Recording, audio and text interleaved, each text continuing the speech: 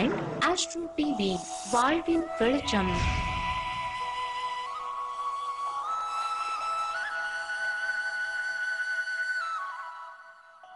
Online astro TV நேயர்களுக்கும் மீண்டும் எனது வணக்கத்தை தெரிவித்துக் கொண்டு உங்களுடன் இணைவதில் மிக்க மகிழ்ச்சி அடைகிறேன்.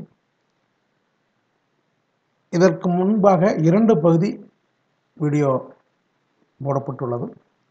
அந்த இரண்டு பகுதியை நீங்கள் பார்த்திருந்தால் இந்த மூன்றாவது பகுதியை பார்க்கும் பொழுது உங்களுக்கு எளிமையாக புரியும் என்ற நம்பிக்கையுடன் உங்களுடன் நான் இணைகின்றேன்.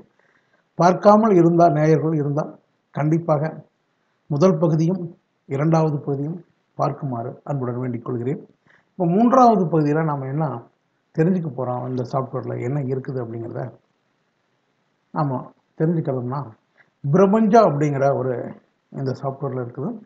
இதுக்கு பிரபஞ்சம்னு எண்கணிதம். இதுதான் இந்த சாஃப்ட்வேர்லேயே மிக ஐலக்கான ஒரு விஷயத்த இந்த சாஃப்ட்வேர் நமக்கு தெரிவிக்கும்.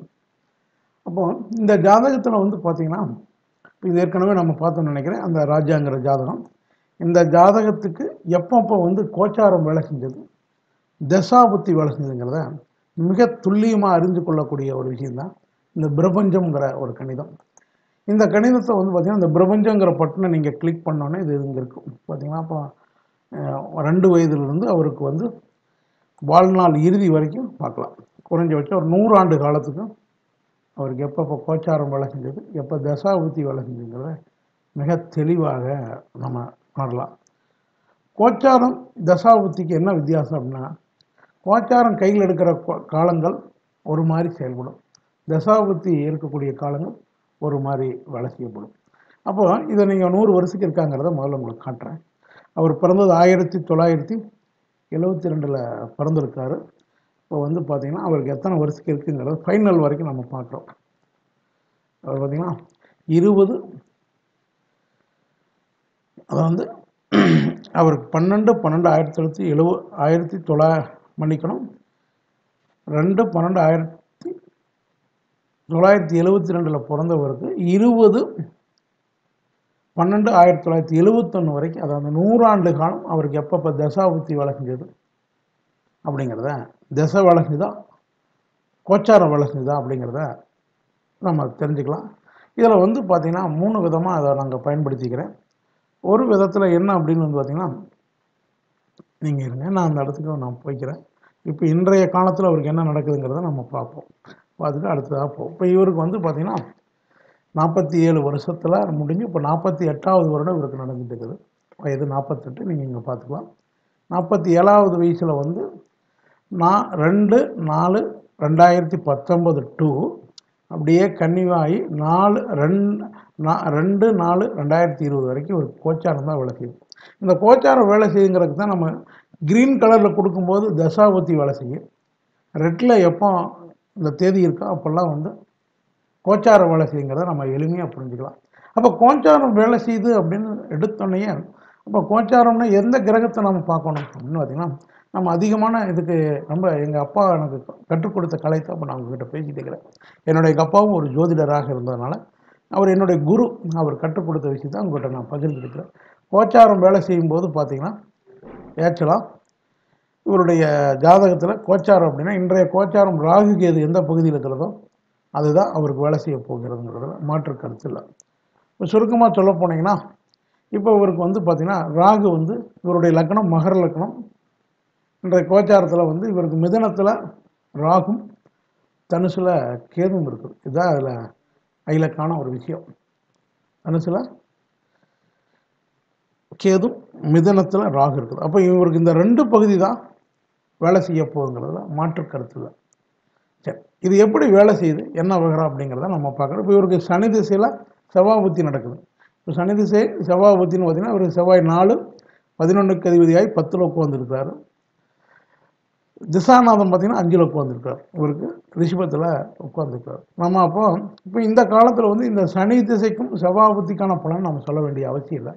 இப்போ நம்ம சொல்லக்கூடிய பலன் அப்படின்னு பார்த்தீங்கன்னா கோச்சாரத்துக்கான பலனை மட்டும்தான் சொல்கிறோம் சரி கோச்சாரம் இவருக்கு வந்து பார்த்தீங்கன்னா எப்போ இருந்து இவருக்கு கோச்சாரம் இயங்கிட்டு இருக்குது அப்படின்னு பார்த்தீங்கன்னா ரெண்டு நாலு ரெண்டாயிரத்தி பத்தொம்பது டூ ரெண்டு நாலு ரெண்டாயிரத்தி இருபது வரைக்கும் ஒரு கோச்சாரம் தான் வேலை செய்யும் அப்போ கோச்சாரம்னா இவருக்கு வந்து பார்த்திங்கன்னா எந்த பகுதியில் கோச்சாரம் வேலை செய்கிறது அப்படின்னு பார்த்தீங்கன்னா மிதனமும் தனுசும் இவருக்கு வந்து கோச்சாரத்தில் செயல்பட்டுருக்கு. அப்போ மிதனம் அப்படின்னு சொன்னீங்கன்னா இவருக்கு லக்னத்துக்கு ஆறாவது வீடாகும் தனுசு என்பது பனிரெண்டாம் வீடாக வருகிறது. சரி அந்தக்கு வந்து நம்ம எண்கணித சாஃப்ட்வேர்லேயே அதுக்கு என்ன பாவம் அவருக்கு பிளாக் ஆகுதுங்கிறத நம்ம இங்கே பார்க்க போகிறோம் இப்போ நம்ம அதை கிளிக் பண்ணிக்கலாம் பார்த்தீங்கன்னா இவருக்கு எந்தெந்த வயசில் கோச்சாரம் வேலை செஞ்சது அப்படிங்கிறத இங்கே மிக துல்லியமாக ராசி கட்டத்தின் மூலம் உங்களுக்கு போட்டிருக்கிறோம். நீங்கள் அதை பார்க்கலாம். இவருக்கு எந்தெந்த காலத்தில் எந்த பாவம் அவருக்கு வேலை செய்யாமல் இருந்தது அப்படிங்கிறத நம்ம மிக துல்லியமாக பார்க்கலாம். இப்போ வந்து பார்த்திங்கன்னா இவருக்கு லைவில் எந்தெந்த காலத்தில் வந்து கோச்சாரம் வேலை செஞ்சது எப்போ வந்து தசாபுத்தி வேலை செஞ்சதுங்கிறத நம்ம பார்க்கலாம். பார்த்திங்கன்னா ரெண்டு நாலு ரெண்டாயிரத்தி பத்தொம்பது டு ரெண்டு எட்டு ரெண்டாயிரத்தி பத்தொம்பது வரைக்கும் ஒரு காலகட்டம். அதுக்கு அடுத்தபடி வந்தீங்கன்னா ரெண்டு எட்டு அதாவது நாலு மாதமாக நாங்கள் பிரிச்சிடுறோம். ஏன்னா இந்த கோச்சாரம் அப்படி தான் செயல்படுது. நாலு மாதத்துக்கு ஒரு மாதிரி செயல்படும் ஒவ்வொரு ஜாதகங்களுக்கும். இப்போ நாலு மாதமாக செயல்பட்டு இந்த கோச்சாரம் வேலை செய்ய போகுது. அப்போ முதல்ல வந்து பார்த்திங்கன்னா இவருக்கு ரெண்டு நாலு ரெண்டாயிரத்தி பத்தொம்பது டு ரெண்டு எட்டு வரைக்கும் மேசங்கிற ஒரு கான்செப்டில் வேலை செய்யுதுங்க இது இங்கே நீங்கள் ரொம்ப துல்லியமாக கவனிக்கக்கூடிய ஒரு விஷயம் அப்படின்னு வந்து பார்த்திங்கன்னா இவருடைய லக்னம் மகர் லக்னம். மகர் லக்னத்துக்கு மிதுனமும் தனுசும் மறைய ரெட்டில் காட்டுது. இப்போ இந்த ரெண்டு இடத்துலேருந்து அவருக்கு நெகட்டிவான ஒரு விஷயத்தை வேலை செய்ய போகுதுங்கிறது அர்த்தம். நெகட்டிவான விஷயம் வேலை செய்ய போகுது. அந்த நெகட்டிவ் எந்த மாதிரி வேலையாக இருக்குது அப்படின்னு வந்தீங்கன்னா இவருக்கு நாலாம் பாவத்தில் மேசம் இடமும் வேலை செஞ்சுருக்கு அப்போ மேசம் அப்படின்னா இவருக்கு நாலாம் பாவம். அப்போ இவருக்கு ஆறாம் பாவம் பன்னெண்டாம் பாவம் வேலை செஞ்சினாவே ஆறாம் பாவம் என்ன சொல்லிட்டீங்கனாவே மனிதனுக்கு பிடிக்காத விஷயங்களை ஆறாம் பாவம் வெளிப்படுத்தும். இப்போ மனிதனுக்கு என்ன பிடிக்காத விஷயம்? கடன் நோய் வழக்கு எதிரி வீண்பழி வீண் விரயம் இதை காட்டும். இது ஆறாம் பாவம். அதுக்கு அடுத்தபடி பார்த்தீங்கன்னா பன்னெண்டாம் பாவம் என்னத்தை சொல்லு அப்படின்னா அயன சயன போகம். அதாவது சரியான தூக்கம் இல்லை சரியான சாப்பாடு இல்லை சாப்பிட முடியாது. சாப்பாடு இருந்தால் கூட சரியாக சாப்பிட முடியாது. சரியான தூக்கம் இல்லாமல் தொந்தரவு பண்ணும். அதே மாதிரி பன்னெண்டாம் இடங்கிறது பயணம்னு சொல்லுவோம். வெளி மாநிலங்களுக்கு செல்லக்கூடிய இடங்கள் யாத்திரை போகக்கூடிய இடங்கள். இதெல்லாம் இவருக்கு இந்த வாய்ப்பு. அதன் மூலம் விரைவு உருவாகும்னு சொன்னாங்க. சரி இதெல்லாம் ஒரு பக்கம் இருந்தாலும் இவருக்கு மேசங்கிறது கிளிக் ஆகிருக்கு இப்போ இந்த நபருக்கு என்ன நடக்குது? நாலு ரெண்டு ரெண்டாயிரத்தி பத்தொம்பது டு நாலு எட்டில் மேசம் வேலை செய்யுது. அதுலேருந்து இந்த மேசம் எது வரைக்கும் வேலை செய்யலாம்? ரெண்டு பன்னெண்டு ரெண்டாயிரத்தி பத்தொம்பது வரைக்கும் வேலை செய்யுது. கிட்டத்தட்ட எட்டு மாதங்கள் இந்த ரெண்டு பாவங்களும் அவருக்கு வேலை செஞ்சுட்டு இருக்குது அப்போ மேசங்கிறது வேலை செய்கிறனால என்ன நடக்குது அப்படின்னா இந்த ஜாதகருக்கு இந்த காலகட்டத்தில் நாலாம் பாவம் இவர் வச்சுக்கிற வாகனம் இன்ஜின் வந்து ஜீஸ் ஆகுது. இவர் பயணம் பண்ணிட்டு இருக்கல அருமையாக போயிட்டு இருக்கக்கூடிய ஒரு வாகனம் இன்ஜின் ஜீஸ் ஆகுது. நாலாம் பாவம் என்பது வாகனத்தை குறிக்கக்கூடிய இடம். அப்போ இன்ஜின் வந்து ஜீஸ் ஆகி கார் நின்று போயிடுது இந்த காலகட்டத்தில். அதுக்கு அடுத்ததாக ஒரு நிகழ்வு நடக்கிறது. என்ன நிகழ்வு நடக்குதுன்னா இந்த ஒரு மறுபடியும் ஒரு மூணு இந்த ரெண்டு நாளிலிருந்து அஞ்சாவது மாதம் வாக்கில் ஒரு ரெண்டு நாள் ஸ்டார்டிங் ஆகி அஞ்சாவது மாதத்தில் இன்ஜின் வந்து ஜீஸ் ஆகுது. எட்டாவது மாதத்தில் இவருக்கு என்ன நடக்குது அப்படின்னு பார்த்தீங்கன்னா இந்த கான்செப்ட் மாறி வரும்போது அவருடைய வீட்டில் மிகப்பெரிய ஒரு சூறைக்காற்று வந்து அவருடைய வீட்டை சேதாரம் பண்ணுது. அந்த வீட்டில் இருக்கக்கூடிய சில பகுதிகள் டேமேஜ் உருவாக்குது. இப்போ இந்த நாலாம் பாவம் விளக்கியது. ஒரு வருஷம் அவருக்கு லாக்கிங் டைம் இருந்தாலும் அது புரிஞ்சு புரிஞ்சு விளக்கியது. அதுதான் நமக்கு ஒரு புரிஞ்சிக்க முடியாமல் ஒரு நிலைமைக்கு தளர்ந்தது எப்படி புரிஞ்சிக்க முடியாதுன்னா ஒவ்வொரு காலகட்டத்துக்கு ஒரு மாதிரி செயல்படும். அதை நம்ம மறந்துடுறோம். இப்போ இவருக்கு இந்த இடத்துல இருக்கும்போது வாகனத்துக்கு தொந்தரவு கொடுத்தது. இந்த இடத்துக்கு இந்த எட்டு ரெண்டு பன்னெண்டுக்கு மேலே வந்து பார்த்திங்கன்னா வீட்டுக்கு தொந்தரவு கொடுக்குது. அவருடைய வீடு சுமக்கக்கூடியதை. அப்போ இவருக்கு என்ன ஆகுதுன்னா இந்த ஆறாம் பாவம் பன்னெண்டாம் பாவம் வருது. பன்னெண்டாம் பாவம் வீண் விரையும். ஆறாம் பாவம் இந்த வீட்டுக்கும் வாகனத்துக்கு செலவு பண்ணுறக்காக கடன் வாங்குறார். அப்போ ஆறும் ஆக்டிவேட் ஆயிடுச்சு பன்னெண்டு வந்துருச்சு மீன் விரை வந்துருச்சு. இதுக்கு மேலே வந்து பார்த்திங்கன்னா மறுபடியும் அதே லாக்கிங் டைம் பன்னெண்டு டு ரெண்டு நாள் வரைக்கும் இருக்குது. அப்போ இவருக்கு எங்கே காட்டுது? தனுஷே காட்டுது. அப்போ தனுஷ் பன்னெண்டாம் பாவத்தில் மேசம் மேசத்தில் இருந்த கிரகம் மீண்டும் இங்கே தனுஷுக்கு வருது. அப்போ இங்கே தனுஷு தான் ஃபுல்லாக வேலை செய்ய போகணும்னு சொல்லுது. அப்போ இவருக்கு என்ன பண்ணுறாரு ஜனவரி வாக்கில் இவர் உடல்நலம் சரியில்லாமல் ஹாஸ்பிட்டலில் போய் இருக்கார். இந்த காலகட்டத்தில் மிகப்பெரிய வீண் விரயங்களாக பண்ணுறாரு சுப செலவாக பண்ணுறாரு ஒரு ஃபங்க்ஷன் நடத்துகிறாரு அதுபோக ஒரு ஃபங்க்ஷன் நடத்துகிறாரு அதுக்கு அடுத்ததாக பார்த்தீங்கன்னா வீண் விரயமாக தன்னுடைய ஃபங்க்ஷனில் நிறைய செலவு பண்ணி பண்ணுறாரு அதுக்கு அடுத்தது பார்த்தீங்கன்னா அவருக்கு உடல்நலம் சரியில்லாமல் பன்னெண்டாம் மாதங்கிறது வைத்தியத்தை குறிகாட்டினால வைத்தியத்துக்காக சில செலவு பண்ணுறாரு அது மட்டும் இல்லை இங்கே வந்து பார்த்திங்கன்னா ராகு கேதுன்னு சொல்லி இங்கே போட்டிருப்போம்.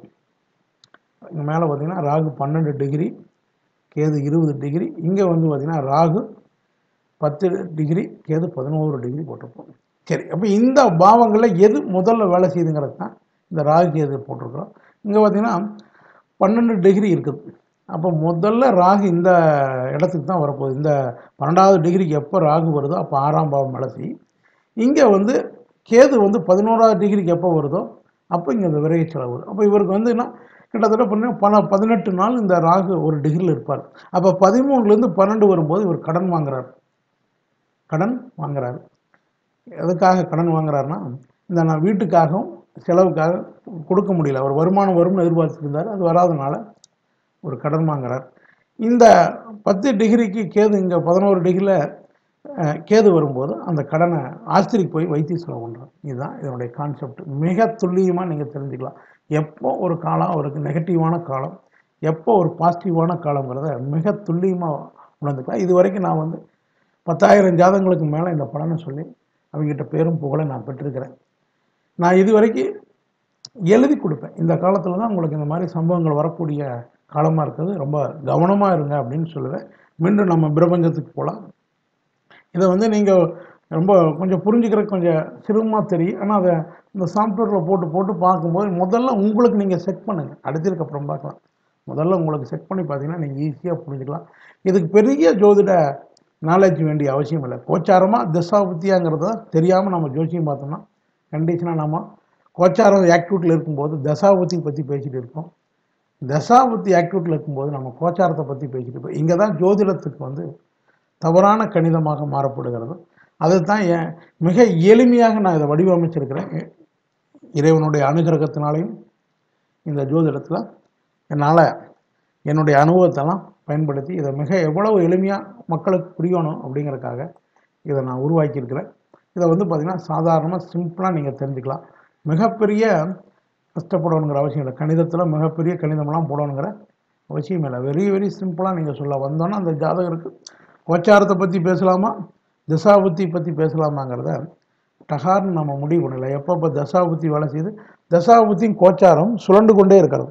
எப்படி? இரவு பகல் மாறி மாறி வருகிறதோ கோச்சாரம் வரும்போது இரவு அதாவது இரவு காலமாக எடுத்துக்கலாம். தசாபுத்தி வரும்போது பகல் காலமாக எடுத்துக்கலாம். இதான் அதனுடைய லாஜிக்கு இப்போ இவருக்கு வந்து பார்த்திங்கன்னா கோச்சாரம் இந்த காலத்தில் இருந்தால் அதாவது ரெண்டு நாலு ரெண்டாயிரத்தி பத்தொம்பது டு ரெண்டு நாலு ரெண்டாயிரத்தி இருபது வரைக்கும் ஓராண்டு காலம் கோச்சாரம் வேலை செய்யுது. இப்போ இந்த ஓராண்டு காலம் கோச்சாரம் வேலை செய்யும்போது ராகு கேது இருக்கக்கூடிய எந்த பாவமோ அந்த பாவ சம்பந்தமான விஷயங்கள் தான் இவருக்கு நடக்க போகுதுன்னு அர்த்தம். அப்போ ராகு கேதுன்னா ஆறாம் இடம். ஆறாம் இடங்கிறது கடன் நோய் வழக்கு எதிரி வீண் பழி. பன்னெண்டாம் இடங்கிறது வீண் விரயம். அந்த விரயத்துக்கான காரணத்தை காட்டவே முடியாது. ஏன் அந்த காசு செலவாச்சுங்கிறது காட்டவே முடியாது. இதுதான் நடக்கக்கூடிய காலம். அப்போ இந்த காலகட்டத்தில் நம்ம ஒரு புதிய முயற்சிகளை பண்ணாமல் ஒரு சுருக்கமாக சொல்ல போனோம்னா இந்த மாதிரி காலத்தில் தான் அவங்க வந்து ஏதோ தேவையில்லாத ஒரு விஷயத்தை பண்ணி மாட்டிட்டு முடிப்பாங்க. இந்த காலகட்டத்தில் நம்ம அமைதியாக இருந்தோம்னாவே மிக எந்த விதமான தொந்தரவுக்கும் ஈடாகாமல் நம்ம வாழ்க்கையை சிறப்பாக போகலாங்கிறது என்னுடைய கருத்து. நான் இது வரைக்கும் பல ஜாதகருக்கு நான் எழுதி கொடுத்துருக்கேன். லெட்டர் பேர்டு வச்சு இது வரைக்கும் இது வரைக்கும் உங்களுக்கு டைம் சரியில்லை. இந்த லாக்கிங் காலம்னு நான் சொல்லுவேன். இதை லாக்கிங் காலம்னு சொல்லுவேன். கருப்பு நாட்கள்னு சொல்லுவேன். ஒவ்வொரு நாளும் நமக்கு கருப்பு நாட்கள் இருண்ட நாட்களாக இருக்கிறனால அதில் எந்த ஒரு முடிவு எடுத்தாலும் நம்மளை தவறான பாதையில் அழைத்து சென்று விடுங்கிறத எந்த விதமான மாற்று கருத்தும் இல்லை. இப்போ இந்த ஜாதகருக்கு வந்து பார்த்திங்கன்னா எவ்வளோ பார்த்தீங்கன்னா ஒரு சில சமயம் பார்த்திங்கன்னா தொடர்ந்து வர்ற மாதிரி இருக்குது ஒரு சில சமயம் பார்த்தீங்கன்னா தள்ளி போகும். பார்த்தீங்கன்னா இது இதுக்கு மேலே வந்து பார்த்திங்கன்னா ரெண்டாயிரத்தி இருபது அதாவது நாலாவது மாதம் இருபதுலேருந்து அவருக்கு லா லாக்கிங் டைம் முடிஞ்சோடனே மறுபடியும் எப்போ லாக்கின் டைம் வருதுன்னா இருபது எட்டில் தான் வருது. அது வரைக்கும் அவருக்கு வந்து தசாபதி அதாவது தசாபதி தான் வேலை செய்ய போகுது. ஒரு அருமையான காலம். எப்போ ரெட்டில் வருதோ அப்போ மட்டும்தான் நமக்கு சரியான காலம் இல்லைங்கிறதுல கண்கூடாக காணலாம். இதை நீங்கள் ஒவ்வொரு ஜா உங்கள் ஜாதகங்களை போட்டு கூட நீங்கள் பார்க்கலாம். மறுபடியும் அடுத்த ஜாதகங்களுக்கு சொல்லலாம். பார்த்தீங்கன்னா மறுபடியும் பார்த்தீங்கன்னா அவருக்கு ரெண்டாயிரத்தி இருபது எட்டு ரெண்டாயிரத்தி இருபத்தி ரெண்டு டு ரெண்டாயிரத்தி அதாவது அதாவது வந்து ரெண்டு எட்டு ரெண்டாயிரத்தி இருபத்தி ரெண்டு டூ ரெண்டு பன்னெண்டு ரெண்டாயிரத்தி இருபத்தி ரெண்டு. அதாவது ஒரு நாலு மாதம் மறுபடியும் கோச்சாரம் வருது. அப்புறம் மறுபடியும் அவர் கோச்சாரத்தை அந்த காலத்தில் கோச்சாரம் வளர்ச்சி அப்போ அந்த காலத்தில் ராகுகேது என்ன பாவத்தில் இருக்கும் அந்த பாவ சம்பந்தமான எந்த ஒரு புதிய முயற்சியும் பண்ணாமல் இருந்தாவே போதும். அவர் எந்த வித தொந்தரவுக்கும் ஆளாக மாட்டார். அது முடிஞ்சோன்னா அடுத்தது வந்து பார்த்திங்கன்னா அவருக்கு மறுபடியும் எப்போ கோச்சாரம் வேலை செய்யுது அப்படின்னு பார்த்தீங்கன்னா ரெண்டு நாலு ரெண்டாயிரத்தி இருபத்தி மூணு டு ரெண்டு எட்டு ரெண்டாயிரத்தி இருபத்தி மூணு. அப்போ ஒரு காலகட்டத்தில் கோச்சாரம் மழை செய்யுது அப்போ அந்த கோச்சாரம்ங்கிறது வந்து பார்த்திங்கன்னா ராகு அது. ராகு அது எந்த பாவத்தில் அமைஞ்சிருக்கோ அந்த பாவத்தில் புதிய முயற்சியை நம்ம பண்ணாமல் இருந்தால் போதும். இது பெரிய ரொம்ப சிம்பிளான விஷயத்த உங்களுக்கு எளிமையாக தெரிஞ்சுக்கிறது தான் நாங்கள் அதை ரெட்டில் போட்டிருக்கோம். நீங்கள் பார்த்தீங்கன்னா ரெண்டாயிரத்தி அவருக்கு இப்போ நம்ம இருபத்தி மூணில் பார்க்குறோம் இருபத்தி மூணில் அது காட்டும் பாருங்க. நான் இருபத்தி மூணில் அவருக்கு என்ன பாவத்தில் வருது அப்படிங்கிறத பார்ப்போம். அதாவது இருபத்தி மூணில் பார்த்தீங்கன்னா நீ அப்படியே தள்ளலாம். தள்ளும்போது உங்களுக்கு கிளியராக வரும். உங்களுக்கு வர்ற பாவங்களை தள்ளிட்டு வரும்போது நமக்கு இங்கே க்ளீனாக காட்டும் என்ன பாவத்தில் இவருக்கு ஆக்டிவிட்டில் இருக்குது அப்படிங்கிறத இருபத்தி மூணில் வந்து பார்த்திங்கன்னா இவருக்கு எங்கே இருக்குது? இருபத்தி மூணில் வந்து பார்த்திங்கன்னா இவர் லக்னத்துக்கு மூணு ஒன்பதும் மறைக்க போகுது. மூணு ஒன்பது நம்ம அந்த காலகட்டத்தில் மூணாம் பாவத்து சம்மந்தமான விஷயம் ஒன்பதாம் பாவ சம்மந்தமான விஷயத்தை அவர் பண்ணாமல் இருந்தாவே இந்த நாலு மாதம் கோச்சாரத்தினுடைய பிடியிலேருந்து நம்ம தப்பிச்சுக்கலாம். இந்த காலகட்டத்தில் வந்து பார்த்திங்கன்னா இயற்கையாகவே அவருக்கு வந்து பார்த்திங்கன்னா அஷ்டமச்சனியோ அல்லது அஷ்டமத்தில் குருவோ இந்த நெகட்டிவான இடத்துல வந்து மற்ற கிரகங்கள்லாம் வந்துருக்கு. அதுலேயும் மாற்று கருத்தில். அந்த காலகட்டத்தில் மெயினாக என்னை பொறுத்தவரை நான் என்ன சொல்கிறேன்னா அந்த காலகட்டத்தில் புதிய முயற்சியில் யார் செஞ்சாலும் அவங்க தோற்று போயிடுவாங்க. அதில் எந்த விதமான இப்போ இந்த மாதிரி லாக்கிங் காலங்கள் வரும்போது மீண்டும் அந்த பிரபஞ்சத்துக்கு போகிறோம் இந்த மாதிரி லாக்கிங் காலங்கள் எப்பப்போ வருதோ அப்போது நாம் வந்து புதிய முயற்சிகளை நாம் பண்ணாமல் இருந்தாவே போதும் நம்ம வாழ்க்கையில் மிகப்பெரிய மகிழ்ச்சி அடையலாம். இதில் என்னென்ன மாதிரி புதிய முகழ்ச்சி புதிய நிகழ்ச்சி அப்படின்னா இப்போ இந்த லாக்கிங் காலத்தில் அவர் திருமணத்தை பண்ணாலும் அந்த திருமணத்தில் ஏதாவது ஒரு மனக்கசப்பு உருவாக்கும் தனக்கு தகுந்த ஜோடி இல்லாமல் கூட தேர்ந்தெடுத்துருவார். லாக்கிங் காலத்தில் தகுந்த ஜோடி இல்லாமல் எடுத்துருவார்.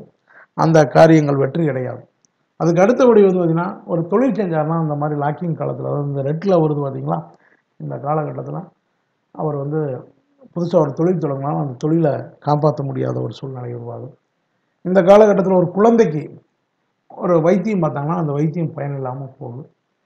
இப்படி எல்லா ஒரு விஷயங்களுக்கும் இவங்க நீங்கள் பயன்படுத்தலாம்.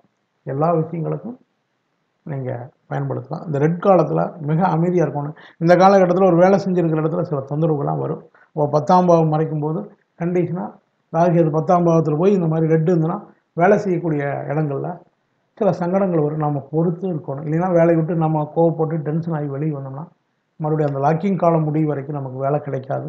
அப்படியே வேலை கிடைச்சி நீங்கள் போனீங்கன்னா கூட அந்த இடத்த முதல்ல இருந்த இடத்த விட இந்த இடம் ரொம்ப மோசமாக இருக்கிற மாதிரி தான் அங்கே உங்களை டீல் பண்ணுவாங்க.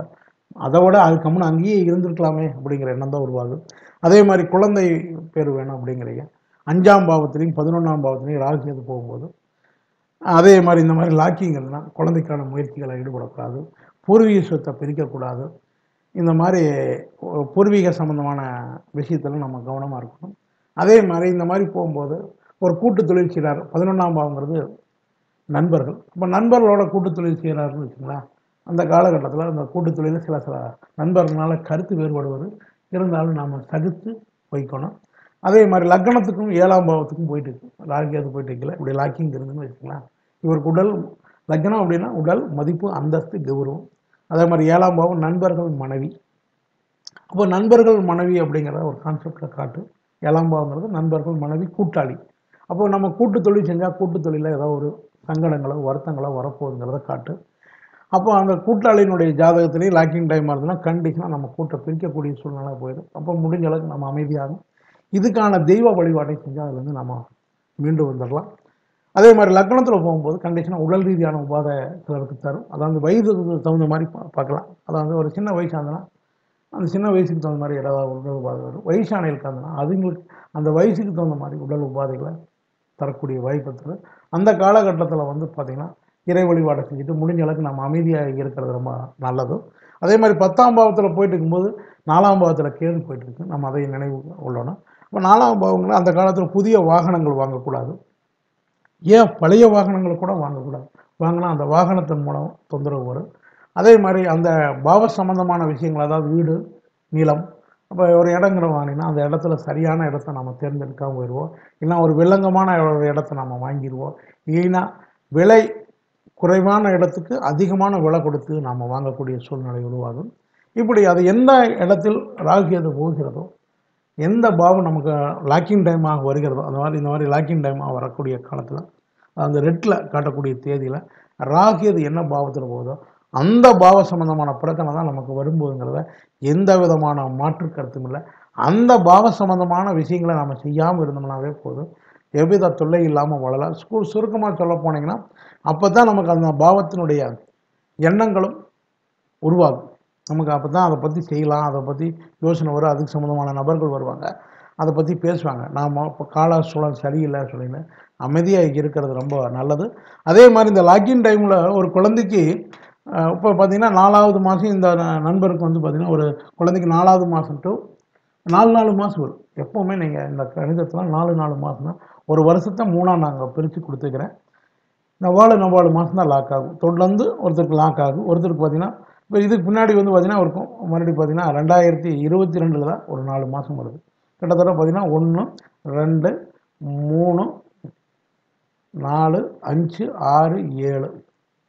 ஏழு அதாவது ஏழு ந- எளினாங்க இருபத்தெட்டு மாதத்துக்கு வந்து அவருக்கு எந்த விதமான தொந்தரவும் இல்லை. கிட்டத்தட்ட ரெண்டு வருஷம் நாலு மாதம் எளினாங்க இருபத்தெட்டு அதாவது ரெண்டு வருஷம் நாலு மாதத்துக்கு அவருக்கு அருமையான டைம் இந்த காலகட்டத்தில் ரொம்ப சூப்பராக இருக்குது எதை வேணாலும் அவர் செஞ்சாலும் வெற்றி பெறலாம்.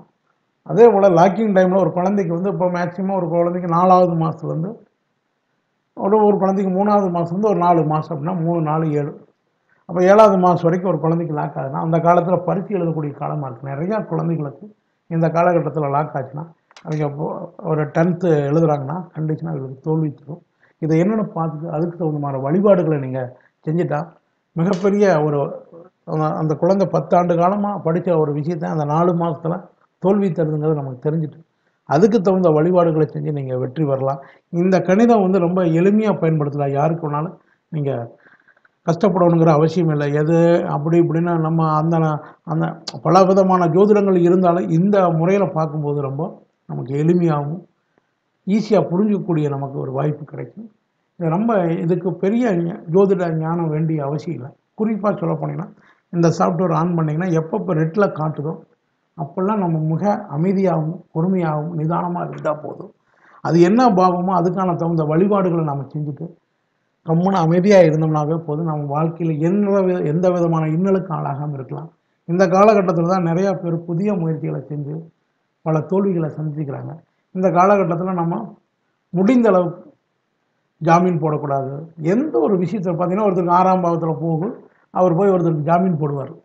ஜாமீன் போட்டார்னா அந்த ஜாமீன் வந்து அவர் பணம் கட்ட மாட்டார். இவர் தான் கடங்காரன் ஆவார் இப்படி ஒவ்வொரு பாவத்துக்கும் நம்ம சொல்லலாம். சுருக்கமாக சொல்ல போனால் லக்னத்தில் போயிட்டு இருக்கும்போது இங்கே ஏழில் போகும். அப்போ இவர் வந்து உடல் ரீதியான மதிப்பு மரியாதை அந்தஸ்து கிடப்பாது கூட்டு தொழில் செஞ்சால் நண்பர்களோட சில கருத்து வேறுபாடு வரும். அப்போல்லாம் நாம் சகித்து பொறுமையாக இருந்துக்கணும். அந்த காலத்தை கடக்க வரைக்கும் நம்ம எவ்வளவு அமைதியாக இருக்கணுமோ அவ்வளோ அமைதியாக இருந்துட்டா நம்ம வெற்றி பெறலாம். அதுக்கு தான் சொல்லுவாங்க. பொறுமை கடலையும் விட பெரியதுன்னு சொல்லுவாங்க பெரியவங்க. பொறுமையான உலகத்தில் ஒரு விஷயமே கிடையாது. ஒவ்வொரு மனிதரும் வெற்றி பெற்றவர்கள் எல்லாருமே பொறுமைசாலிகள் மட்டும்தான் வெற்றி பெற்றார்கள். பொறுமை இல்லாதவர்கள் வெற்றி பெற்றதே இல்லை. அதான் சொல்லுவார் பொறுத்தவர் பூமி ஆழ்வார் பொறுக்காதவர் எதையும் ஆள மாட்டார்னு புலமொழி சொல்லுவாங்க கிராமத்தில். அதனால் பொறுக்கறியை மட்டும்தான் எல்லாம் ஒரு அதாவது பொறுமை என்பது கடலிலும் பெரியது. பொறுத்தவர் பூமி ஆழ்வார். அப்படின்னா பூமியில் நாம் வாழ முடியும். பொறுக்காமல் இருந்தால் நம்ம பூமியில் வாழ முடியாதுங்கிறத மிக சூட்சமாக நம்ம முன்னோர்கள் நமக்கு சொல்லியிருக்காங்க.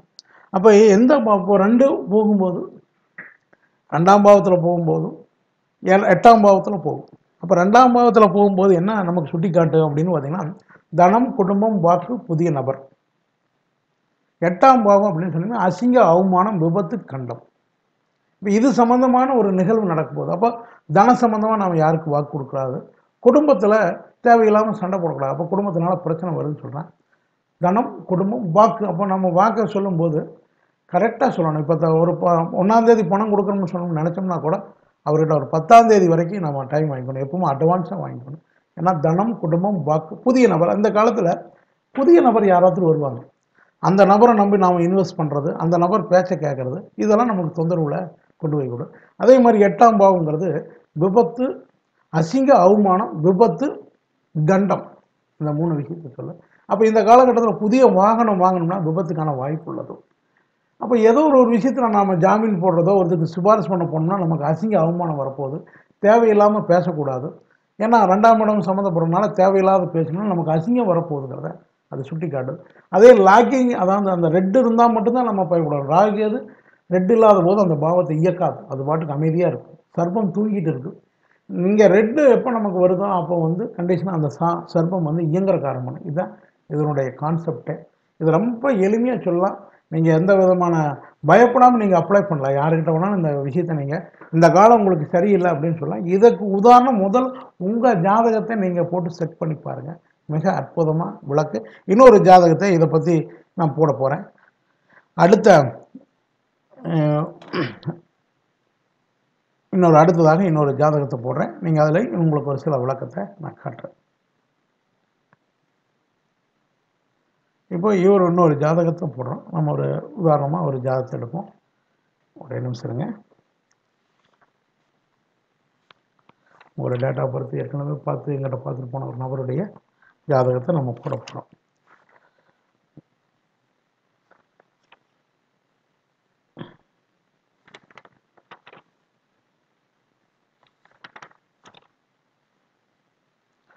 இப்போ இவருடைய ஒரு ஒரு பேர் வந்து திருவேங்கடம். நம்ம சுருக்கமாக கால நேர சூழ்நிலை திருன்னு போட்டுக்கலாம். திருவேங்கடம் நம்ம போடலாம். திருன்னு மட்டும் போட்டுக்கலாம். நம்ம காலத்தை வீண் பண்ணக்கூடாதுங்கிறக்காக இவருடைய டேட்டா பொறுத்து வந்து பார்த்திங்கன்னா பதினெட்டு ஒன்பது ஆயிரத்தி தொள்ளாயிரத்தி எழுபத்தி ஏழு. இவர் பிறந்த டைம் வந்து பார்த்தீங்கன்னா காலையில் ஏழு நாற்பதுக்கு பிறந்திருக்காரு. ஏழு நாற்பது. ஏஎம் அப்போ இங்கே ஏஎம்மே இருக்குது. இவர் ஒரு ஆண் தான். பிறந்த இடம் இவர் கோவையில் பிறந்திருக்கார். ஆண் சொல்லு ஜியோ ஏ கோவை இந்த கோவைன்னு போட்டால் போதும். அது சப்டோர் எடுத்து. இவருக்கு என்ன மாதிரி விஷயங்கள் இருக்குங்கிறத நம்ம பார்க்குறோம்.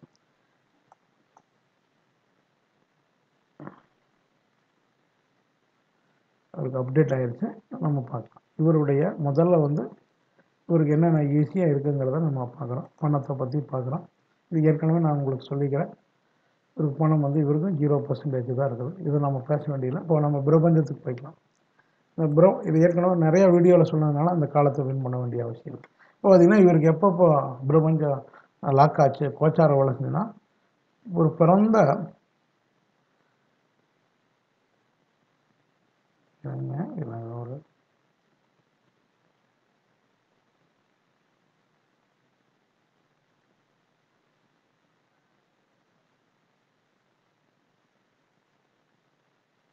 பார்த்தீங்கன்னா இவருக்கு எழுபத்தெட்டு பிறந்த காலத்துலேயே அவருக்கு வந்து கோச்சாரத்தை ஆக்டிவிட்டியில் தான் பிறந்திருக்காரு. இவர் பிறந்த போது குழந்தையா பிறந்த ஒரு மூணு மாதம் நான்கு மாத காலம் இருந்துச்சு அப்போ இந்த நான்கு நான்கு மாத காலம் ஒரு தொந்தரவு பிறந்த பிறந்த பிறக்கும் போதே அவர் கோச்சார ஆக்டிவிட்டியில் தான் பிறந்திருக்காரு. அப்போ இவருக்கு இந்த ரெட்டில் எப்பப்போ வருதோ அப்போல்லாம் வந்து கோச்சார வேலை செஞ்சுங்கிறத மாற்று கருத்தே இல்லை. இப்போ இவருடைய நடைமுறையில் என்ன நடந்தது அப்படிங்கிறத பார்க்க போகிறோம் இப்போ இவருக்கு என்ன மாதிரி பிரச்சனைங்க? சந்திச்சார் அப்படின்னா பார்த்தீங்கன்னா இவருக்கு வந்து இவருக்கு எப்போ லாக்கிங் ஆயிருக்குன்னா பதினெட்டு ஒம்பது ரெண்டாய ரெண்டாயிரத்தி பதினெட்டு டு பதினெட்டு ஒம்பது ரெண்டாயிரத்தி பத்தொம்பது வரைக்கும் ஒரு லாக்கிங் இருந்திருக்கு. இப்போ வந்து அவருக்கு இல்லை. இப்போ அவருக்கு வந்து லாக்கிங் கிடையாது. இவருக்கு லாக்கிங் எப்போ வருதுன்னா பதினெட்டு ஒன்று ரெண்டாயிரத்தி இருபத்தொன்று டு பதினெட்டு அஞ்சு ரெண்டாயிரத்தி இருபத்தொன்று வரைக்கும் தான் லாக்கிங் வருது. இப்போ இவருக்கு அருமையான ஒரு காலமாக இருக்குது. எந்த ஒரு புதிய முயற்சிகளையும் செய்யலாம். எல்லா காரியங்களும் இவருக்கு ஒரு தசாபதிக்கு தகுந்த மாதிரி இவருக்கு எல்லா பலனும் வாரி வழங்குது ஓகே தயாராக இருக்குங்கிறது உண்மையாகுது. எந்த விதமான தடைகளும் இல்லாமல் போல. கிட்டத்தட்ட ஒன்று ரெண்டு மூணு நாலு. இப்போ நன்னாங்கு பதினாறு மாதம் அதாவது ஒன்றரை வருட காலங்கள் இவருக்கு அருமையான டைம் இருக்குது. ஒன்றரை வருஷம் கழித்து மட்டும்தான் இவருக்கு இந்த மாதிரி ஒரு நெகட்டிவான காலம் வருது. இந்த நெகட்டிவான வரக்கூடிய காலத்தில் மட்டும் இவர் புதிய முயற்சியில் தவிர்த்தா போதும்.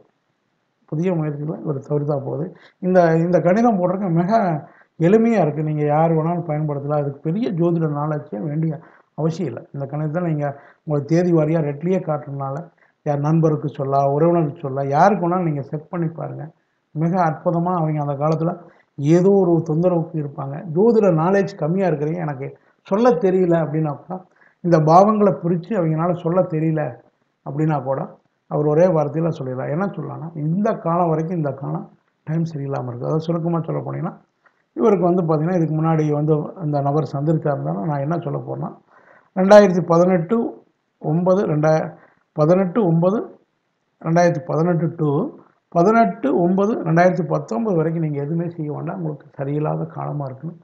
எந்த ஒரு புதிய முயற்சி செல்லாமல் ஏற்கனவே என்ன செஞ்சுட்டு இருக்கிறீங்களோ அதை மட்டும் செய்யுங்கன்னு சொல்லிட்டு புதுசாக எதுவும் வேண்டாம். இந்த சமயத்தில் பல்வேறு விதமான யோசனைகள் வரும். எது நீங்கள் செய்ய வேண்டாம்னு சொல்லித்தான் நான் அனுப்பிவிடுவேன்.